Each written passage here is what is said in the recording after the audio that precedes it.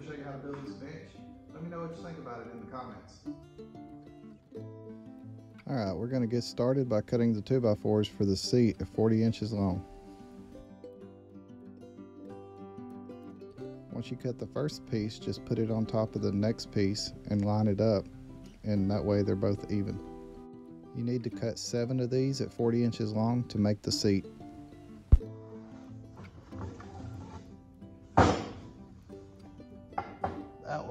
Mess up a table saw blade.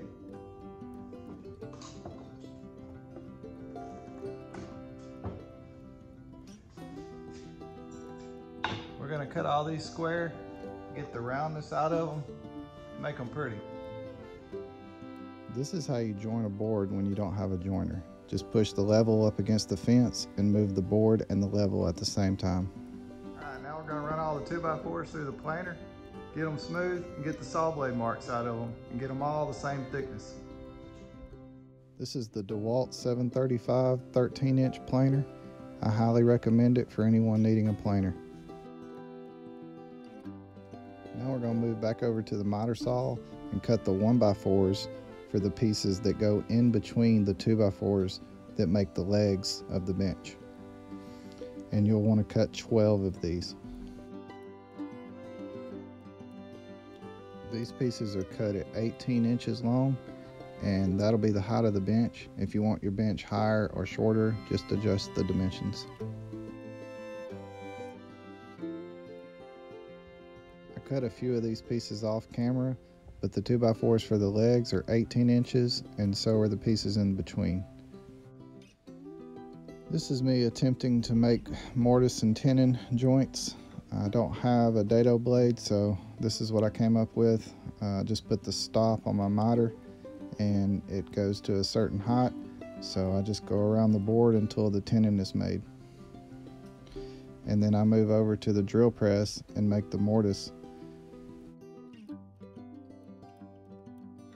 After I get the hole drilled out for the mortise I have to use my chisel to chisel it out make it square and keep doing that until the tenon fits in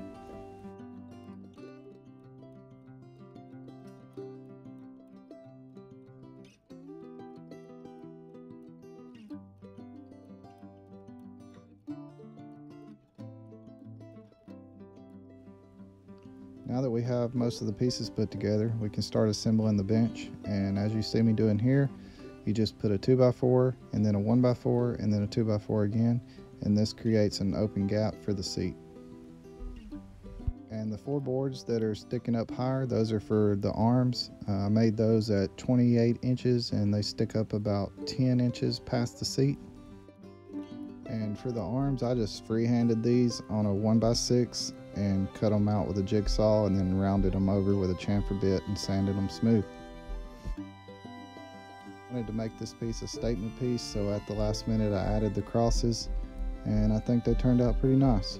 I finished it off with a couple coats of lacquer and here it is ready for delivery. Let me know what you think in the comments. Thanks for watching the channel and don't forget to subscribe so you don't miss any future videos. We'll see you next time.